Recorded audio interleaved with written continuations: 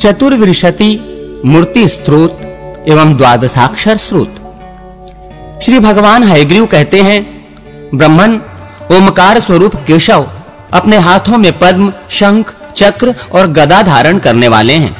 नारायण शंख, पद्म, गदा और चक्र धारण करते हैं। मैं प्रदक्षिणा पूर्वक उनके चरणों में नतमस्तक होता हूँ।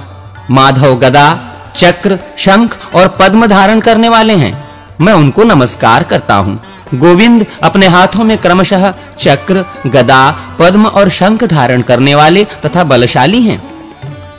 श्री विष्णु, गदा, पद्म, शंख एवं चक्र धारण करते हैं। वे मोक्ष देने वाले हैं। मधुसूदन शंख, चक्र, पद्म और गदा धारण करते हैं। मैं उनके सामने भक्ति भाव से नतमस्तक होता हूँ।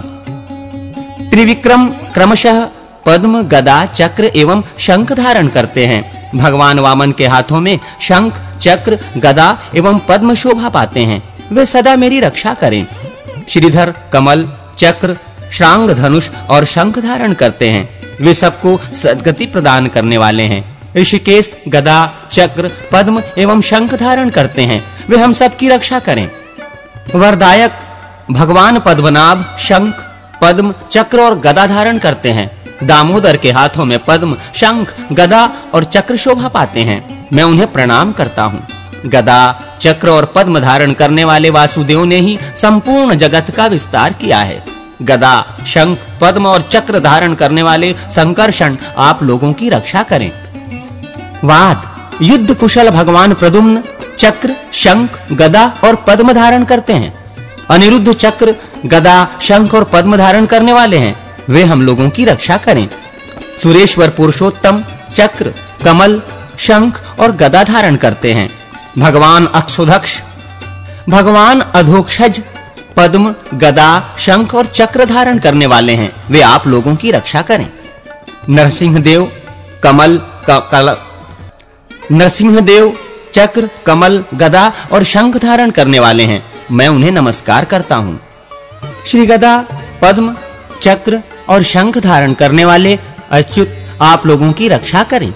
शंख, गदा, चक्र और पद्म धारण करने वाले बालवटु रूपधारी वामन, पद्म, चक्र और शंख और गदा धारण करने वाले जनार्दन, शंख, पद्म, चक्र और गदाधारी यज्ञ स्वरूप श्री हरि तथा शंख, गदा, पद्म एवं चक्र धारण करने वाले श्री कृष्ण मुझे भोग और मोक्ष देने वाले हूँ।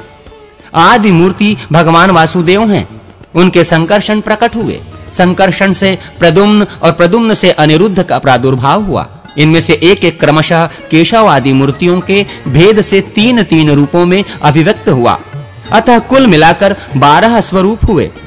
चौबीस मूर्तियों के स्तुति से युक्त इस द्वादशाक्षर स्रोत का जो पाठ अथवा प्रणव करता है, वह निर्मल होकर संपूर्ण मनोरथों को प्राप्त कर लेता है। मत्स्यादि दशावतारों की प्रतिमाओं के लक्षण का वर्णन। भगवान हयग्रीव कहते हैं, ब्रह्मन, अब मैं तुम्हें मत्स्य आदि दस अवतार विग्रहों का लक्षण बताता हूँ। मत्स्य भगवान की आकृति, मत्स्य के समान कूर्म भगवान की प्रतिमा, कूर्म कच्छप के आकार की होनी चाहिए। मत्स्य भगवान की आकृति, मत्स्य के समान और कूर्म भगवान की प्रतिमा, कूर्म कच्छप के आकार की होनी चाहिए।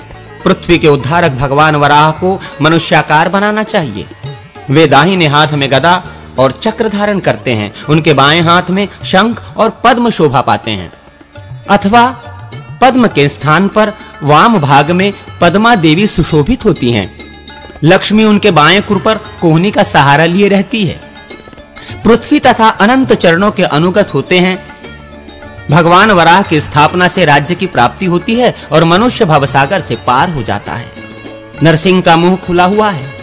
उन्होंने अपनी बाई जांघ पर दानव हरण्य कश्यप को दबा रखा है और उस दैत्य के वक्ष को विदीर्ण करते दिखाई देते हैं। उनके गले में माला है और हाथ में चक्र एवं गदा प्रकाशित हो रहे हैं। वामन का विग्रह छत्र एवं दंड से सुशोभित होता है, अथवा उनका विग्रह चतुर्भुज बनाया जाए। परशुराम के हाथों में धनुष और बाण होना चाहिए। वे खड्ग और फरसे से भी शोभित होते हैं। श्री रामचंद्र जी के श्री विग्रह को धनुष, बाण खड्ग और शंख से सुशोभित करना चाहिए। अथवा वे द्विभुज माने गए हैं। बलराम जी गदा एवं हल हल हल। बलराम जी गदा एवं हल धारण करने वाले हैं।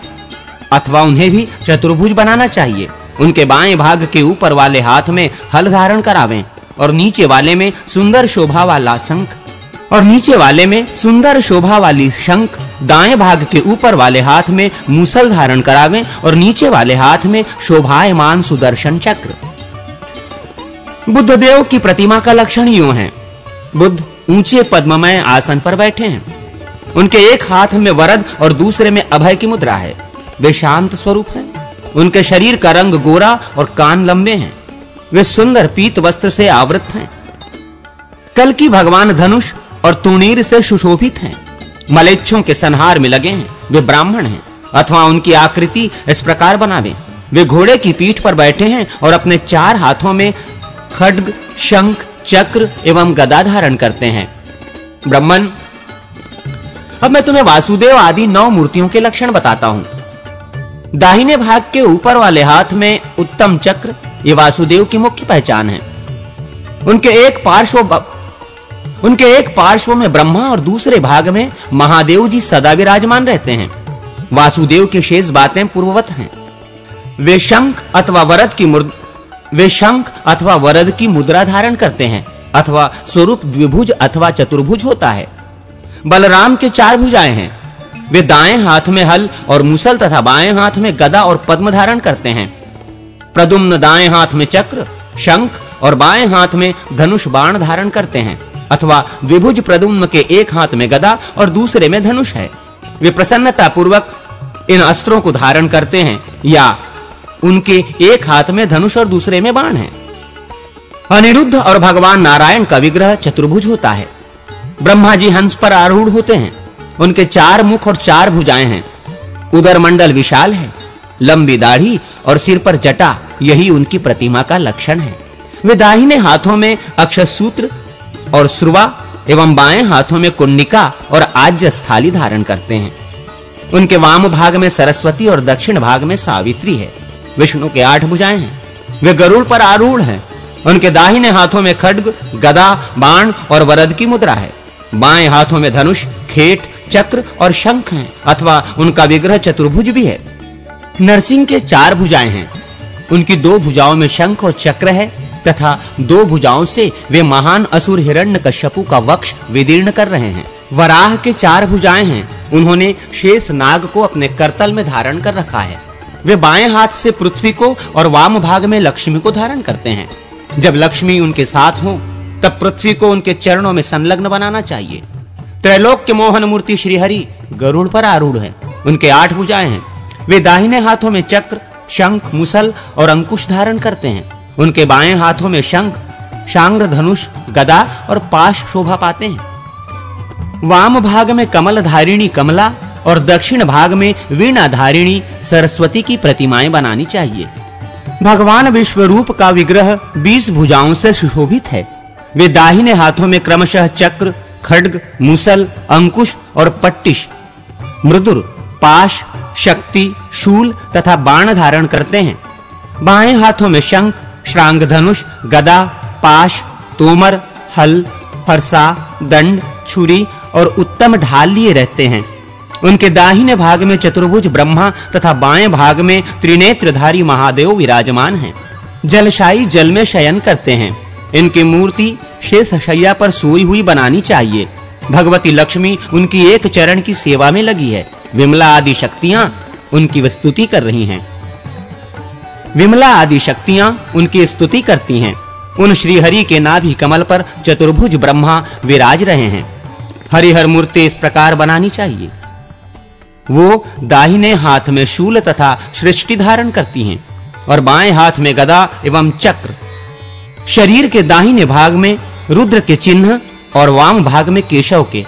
दाहिने पार्श्व में गौरी और वाम पार्श्व में लक्ष्मी विराज रही हैं। भगवान हयग्रीव के चार हाथों में क्रमशः शंख, चक्र, गदा और वेद शोभा पाते हैं। उन्होंने अपना बायां पैर शेष नाग पर और दाहिना पैर कच्छप की पीठ पर रख छोड़ा है। दत्तात्रेय के दो बाहें हैं। उनके वामांग में लक्ष्मी शोभा पाती हैं। भगवान के पार्षद विक्वक्सेन अपने चार हाथों में क्रमशः चक्र, गदा, हल और शंख धारण करते हैं।